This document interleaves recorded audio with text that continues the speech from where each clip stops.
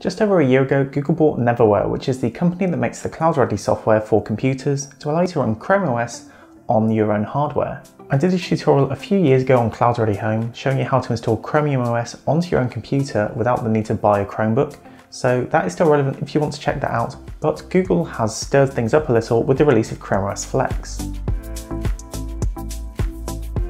So Chrome OS Flex is putting that purchase of Neverware into action with Google releasing their own version that they're rolling out in testing phasing now for further release later down the line. Chrome OS Flex is designed for businesses and schools and is designed to be run on existing old hardware such as old Windows computers or old Macs. And this should provide an experience that is pretty much identical to a Chrome OS device such as a Chromebook without the need to purchase that additional hardware. Chrome OS Flex is free, however I imagine there could be some costs with rolling this out into a enterprise environment with Chrome Enterprise. However, for testing this out for personal use, this is free to do. Chrome OS Flex is still in early development, so it's not designed for widespread use yet, so there are bugs and issues that pop up when trying to use the OS. But if you are looking for something to use on your main computer all the time, I would still recommend checking out CloudReady Home and checking out my older tutorial from a couple of years ago. As when the time is right and Chrome OS Flex is all ready for widespread use, CloudReady will be automatically rolled into Chrome OS Flex and it will be a seamless upgrade. But anyway, Let's get into the tutorial and see how we can get Chrome OS Flex installed and running on our computer. Unlike what the Chrome OS Flex site says, you don't need to sign up and register your interest to get started.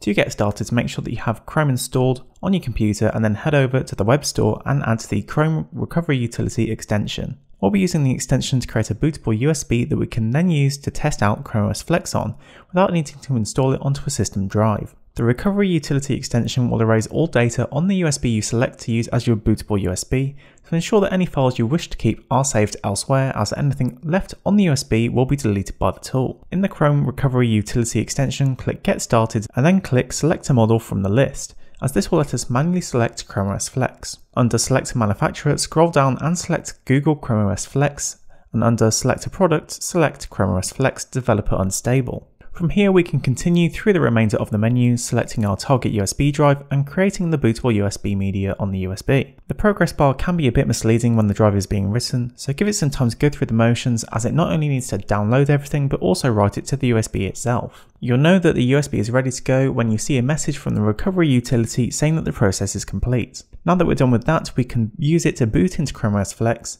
so plug the USB into the computer that you wish to test out Chrome OS Flex on and boot to it from the boot devices menu. So let's go over to my computer and do just that. I have noticed that Chrome OS Flex stays true to its current unstable name as I was unable to boot it at all on my desktop, but I did have more luck on my laptop. Booting from the USB you'll notice immediately that it has Chrome branding, however elements of CloudReady are still present and can be seen on the initial onboarding screen. Getting started is intuitive and straightforward. By following the on-screen instructions, we can set our language settings, as well as connect to a wireless network and set our keyboard layout preferences. When going through the initial setup screens, there's the option to install Chrome OS Flex on your device, replacing the operating system, or running it directly off the USB. I chose to do the latter as I'm only planning to explore the OS rather than use it all the time. I've not tried a Chrome OS device myself, however I imagine that this setup process is pretty much identical to what you would experience on a device such as a Chromebook. It's very user friendly to go through and shouldn't be intimidating for new users. As we move through the setup, we begin to see more options appear at the bottom, as well as the opportunity to sign into a Google account through the main setup. I'm going to select Browse as Guest for the sake of this tutorial to quickly get into the OS itself. The Chrome OS Flex user experience is extremely straightforward and is centered around the browser, with a few different apps and settings toggles in the shelf at the bottom. Browsing feels snappy, however this will be reflective of your hardware, and there are some nice user interface elements such as the shelf blur at the bottom. If you're used to Chrome, you'll feel right at home as Chrome OS Flex is the Chrome browser built as an operating system. The shelf features an Omnibox search which ties into the OS itself, as well as Google search and features quick buttons to launch apps. The right of the shelf features a media playback shortcut, as well as connectivity toggles and a notification area. There's a few apps included out of the box, however I believe that there may be future expansion to support Android apps as well, as seen on some Chrome OS devices, which will open up more opportunity for Chrome OS Flex users. Window snapping is also supported, which I like a lot, as macOS doesn't support window snapping, which is frustrating at times, and the Files Manager allows you to download files from websites such as this image from richardtech.net and it allows me to open it up in an image viewer which has adjustment and annotation features. Compared to when I looked at CloudReady a few years ago, which is still currently around if you're looking for a more stable solution, it's clear to see that Chrome OS has come a long way with the introduction of Chrome OS Flex, and it provides a very straightforward and approachable way to get online without much fuss. I can imagine this becoming quite popular for everyday users when Windows devices start to lose Windows 10 update support in a few years and don't want to buy a new computer. So that's been it for this video. If you liked it, please consider subscribing.